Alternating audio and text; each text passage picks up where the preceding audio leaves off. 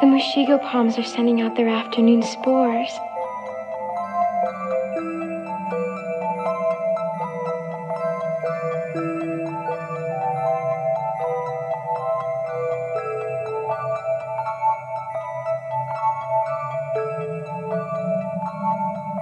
It's so beautiful.